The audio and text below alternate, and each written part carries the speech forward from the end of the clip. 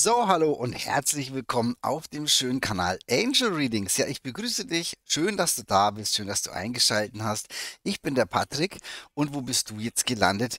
Ja, du bist jetzt beim sonntaglichen, äh, bei der sonntaglichen Botschaft vom Wunschpartner gelandet. Ja, traditionell ähm, hier am Kanal jeden Sonntag, ähm, ja, die Energien, die wir hier einfangen für die Kollektivenergie, die Botschaft vom Wunschpartner. Was möchte dir dein Wunschpartner jetzt in der aktuellen Energie mitteilen?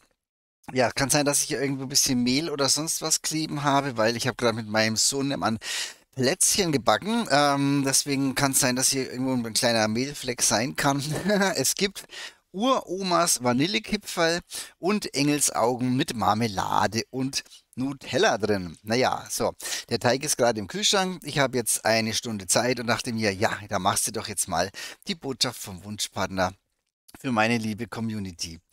So, und wir wollen mal anfangen. Äh, wir mischen natürlich äh, live. Das ist ja kein großes Deck. Wir machen hier immer eine klassische Neunerlegung. Das ist ja der, der Klassiker im Lenormand-Deck. Und ja, wir fangen einfach mal an.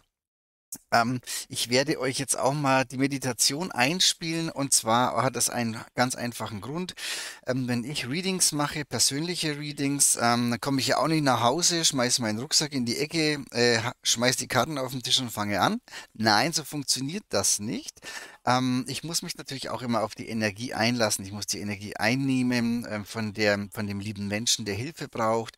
Und da mache ich auch immer eine kleine Meditation, damit ich runterkomme damit der Alltag draußen bleibt, damit ich die Energie aufnehmen kann. Und genau das machen wir jetzt auch nochmal eben. Ich spiele euch das ein. Wer es nicht möchte, kann es natürlich gerne vorspulen, kein Problem.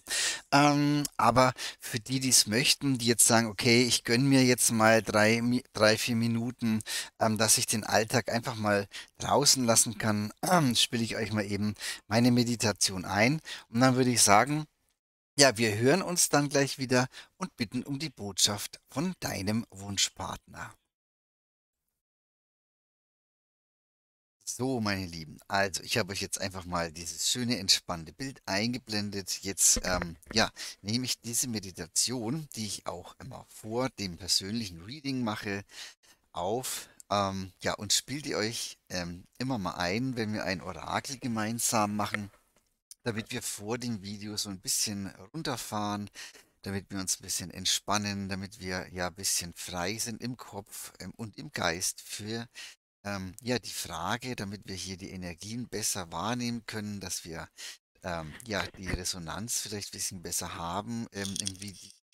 Und dazu möchte ich euch jetzt einfach bitten, ja, euch bequem hinzusetzen, es euch gemütlich zu machen, wenn es geht, keine Beine, keine Arme über Kreuz, und einfach in die Atmung zu gehen, Alltag draußen zu lassen, die Augen zu schließen, so wie ich das jetzt auch mache.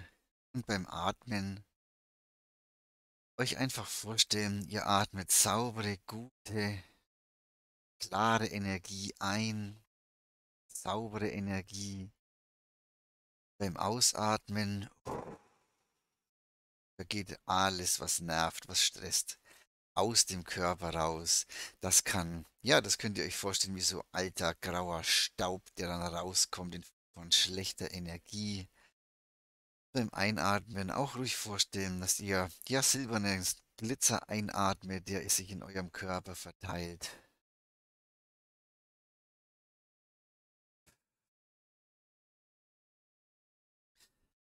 Wir haben die Augen geschlossen versuchen an nichts zu denken. Wenn euch das schwerfällt, ja dann, dann konzentriert euch einfach auf euren Atem.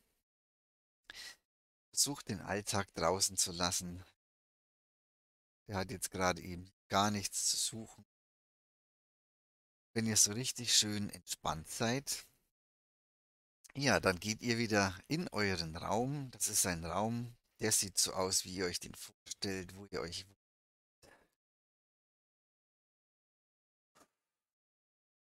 Dann nehmt ihr dort Platz, habt es bequem. Und dann stellen wir uns unseren Wunschpartner vor. Wir spüren seine Energie. spüren ihn vor uns, wir sehen ihn mit unserem geistigen Auge.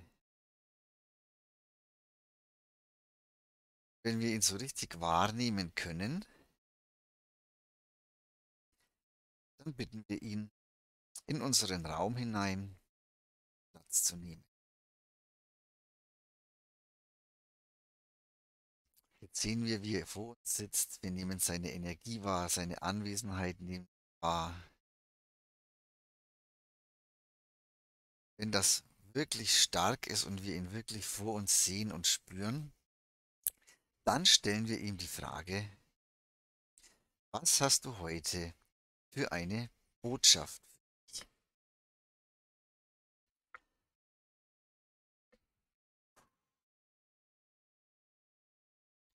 Okay, jetzt sind wir einigermaßen connected.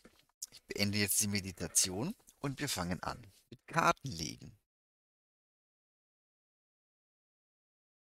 So, meine Lieben, ja, wir sind jetzt so ein bisschen connected. Das heißt also, wenn du merkst, dass du in der Energie bei jemandem drinnen bist, dann spürst du das meistens hier so bei ein, ein angenehmes Kribbeln, das nimmst du wahr, verlass dich da drauf, dann bist du da, dann bist du drin. Und ja, ich würde sagen, wir fangen auch jetzt gleich mal an. Ich suche mal den guten Herrn heraus. Äh, da ist er ja auch schon schön gekleidet. Ach so, ja, ich bin auch schön gekleidet, aber mich will jetzt keiner mehr sehen. So, dann mache ich mich mal klein. Dein Patrick. Und da ist der Mann. Ich lege ihn jetzt einfach mal so hin. Und wir machen das wie immer. Hm, ich mische jetzt hier einfach nochmal acht Karten dazu für die Neunerlegung der Frage, was hast du heute für eine Botschaft?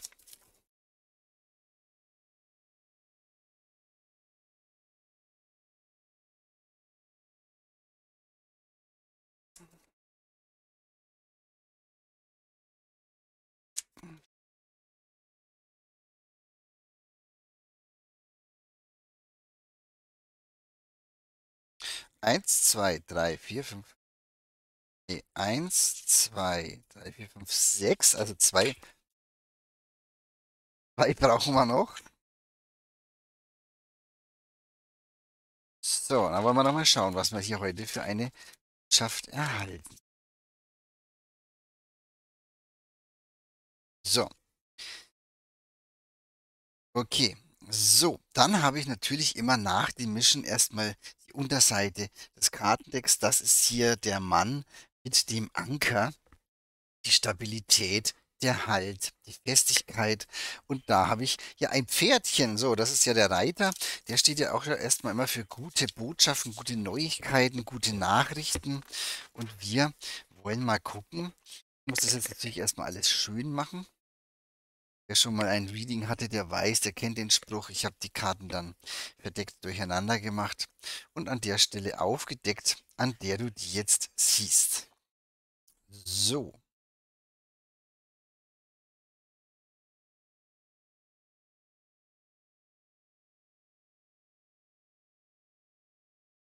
Okay.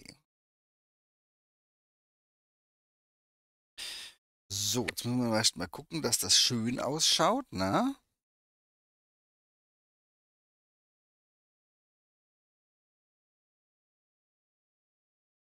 Okay. So, das schaut doch schon mal gut aus. Na, das kann man mal so liegen lassen. Ich bin gar nicht im Bilde. So, also, was haben wir denn da? Die Botschaft vom Wunschpartner. Was möchte uns der Wunschpartner oder was möchte dir dein Wunschpartner heute der Kollektivenergie sagen? Ich sage es immer wieder, Kollektivenergie ist natürlich für alle. Ja, ähm, wenn du es ganz genau wissen möchtest für persönliche Readings, schreib mich einfach an. Meine WhatsApp-Handynummer ist immer in der Infobox. Aber wir schauen jetzt hier mal rein und gucken, was denn der gute Wunschpartner so zu sagen hat. Na? Wir haben hier als Hauptenergie den Anker. So, das ist ja eine Karte für Stabilität, für Halt, für Festigkeit, für Sicherheit auch im Leben. Und ich sehe schon hier, wenn der Reiter fällt, also er hat schon erkannt, dass er sich bei dir sicher fühlen kann. Ja, der Reiter, ähm, das sind gute Nachrichten, das ist ein positiver Aufbruch, das ist ein positiver Ausgang. Ja, hier kommen schöne Dinge in Bewegung. Also er wünscht sich hier schon einen positiven Aufbruch in Bezug auf dich, weil er irgendwie schon merkt, er ist bei dir in der Sicherheit.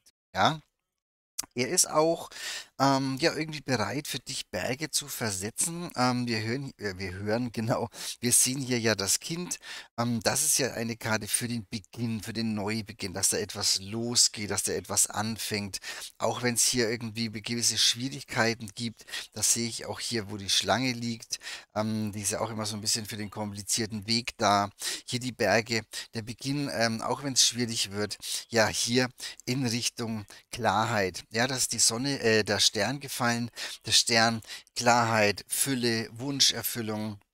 Also er möchte schon auf jeden Fall, möchte er dir näher kommen, auch wenn es schwierig wird. Also ich sage es, er sieht mir hier schon so aus, als wäre er bereit, für dich Berge zu versetzen. Die ganze Sache bei euch ähm, kommt mir hier so ein bisschen schwierig vor, ja.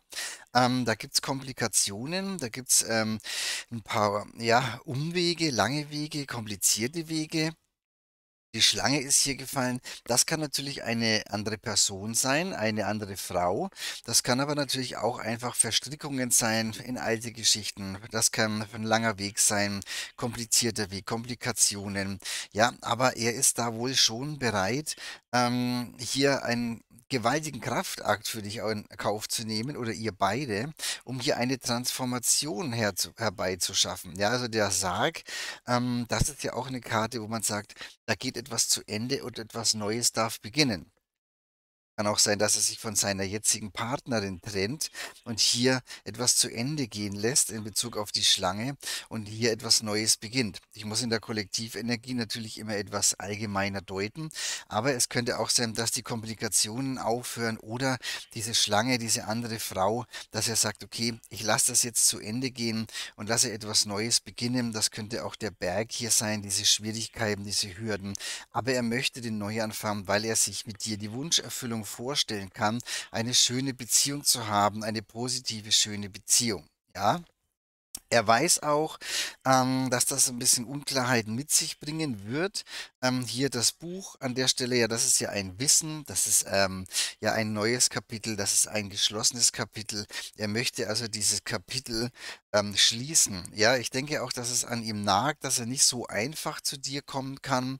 Ähm, die Mäuse, die stehen ja immer dafür, dass man ein bisschen Kummer hat. Ähm, den sehe ich ja auch hier mit dem Berg, mit der Schlange. Aber ich sehe schon, der Mann ist hier wild entschlossen. Du siehst hier, wie er hier äh, sitzt und schaut und überlegt, wie er eine Lösung herbeiführen kann, wie er Klarheit da reinbringen kann, was euch beide angeht. Also er sucht nach einer Lösung. Ähm, um den Kummer zu besiegen, um die Unklarheit zu besiegen. Und er würde hier wirklich für dich Berge versetzen, dass hier was äh, in Schwung kommt. Weil wir dürfen nicht vergessen, die Hauptenergie, Stabilität, halt Sicherheit, Nachrichten, positiver Aufbruch. Er ist absolut dabei, hier die Weichen zu stellen für eure Beziehung. Na? Auch wenn es schwierig wird, der Berg, wie gesagt, Hürden, Schwierigkeiten, Blockaden in Bezug auf den Neuanfang und die Wunscherfüllung, aber er will das unbedingt. Es kann, also mein Impuls ist einfach jetzt hier, dass hier eine andere Frau auch eine Rolle spielt, ähm, dass er das beendet, ähm, der Sarg, das geht zu Ende und etwas Neues darf beginnen. Und er ist gerade dabei, ähm, diese Dinge so zu regeln, ähm, dass das alles auch Hand und Fuß hat. Also es schaut gut aus. Ähm, ich kann nur sagen, ähm, es gibt natürlich Männer, die äh, sind dann auch gerne mal im Rückzug, ja, um sich über sowas jetzt auch Gedanken zu machen. Das heißt nicht immer gleich, dass wenn der Mann im Rückzug ist, dass er dann auch nicht mehr äh, auf dich zukommt oder dass er dich vergessen hat. Nein, ähm, bin ja selbst ein Mann. Männer ziehen sich auch gerne mal zurück, ähm, um Dinge zu planen, um sich über Dinge im Klaren zu werden. Und das ist hier so ein Fall wo ich sehe, okay, da gibt es äh, Hürden, da gibt es Komplikationen, vielleicht eine andere Frau, der er hier erst was beenden muss. Aber der Neubeginn, die Wunscherfüllung, die Sicherheit, die positiven Nachrichten, die liegen ja da. Und er wird hier aus diesem Gedenke herauskommen weil diese Karte spricht mich sehr an hier im Deck, ähm, wie er da sitzt und sich wirklich hier Gedanken darüber macht, wie er das alles am besten anstellt. Und von daher, ja, kann ja dabei nur Gutes herauskommen. Also es schaut gut aus, meine Lieben. Das kann man auch getrost mal so liegen lassen. Es ist keine leichte Zeit jetzt, ich sehe das schon, ja. Aber ähm, wir haben hier einen Mann, ähm, der sagt, Haupt oder Top, entweder oder, alles oder nichts. Und er ist dabei, die Dinge so ähm, ja in die Wege zu leiten, dass dabei am, am Ende des Tages auch alle zufrieden sind. Na? Also von daher, ja, Kopf hoch, ne? wenn dein Wunschpartner im Rückzug ist ähm, und du bist jetzt mit dieser Legung in Resonanz gegangen, ähm, dann hat das auch den einfachen Grund, dass er für sich Dinge plant ähm, und überlegt, wie er irgendetwas anstellt in naher Zukunft. Und das sollte man ihn dabei auch nicht stören. Ne? Unterstützen ja, stören nein. Und von daher schaut es doch da ganz gut aus. Ja, wenn du nicht in Resonanz gegangen bist und sagst: „Oh, das ist jetzt eigentlich gar nicht so mein Thema, da gibt's keine andere Frau, keine Verstrickungen“, ähm, ja klar, dann schreib mich gerne an. Wie gesagt, meine Nummer ist in der Infobox. Schreib mir einfach eine WhatsApp-Nachricht und dann machen wir direkt was aus. Für eine persönliche Legung, Preise, alles steht da auch drin. Ist bei mir alles total unkompliziert. Na? Okay, meine Lieben, dann würde ich sagen, ich entlasse euch jetzt in diesen wunderschönen Sonntag. Ähm, seid entspannt, habt eine gute Zeit, seid lieb zueinander. Wenn es euch gefallen hat, zeigt es mir gerne mit einem Daumen rauf, schreibt mir auch gerne in die Kommentare rein. Und ansonsten, ja, wenn du abonnierst, freue ich mich, weil dann bist du Teil der schönen Angel Readings Community. Na? Alles klar, meine Lieben. Wir sehen uns bald. Ciao, ciao, arrivederci. Bis dann.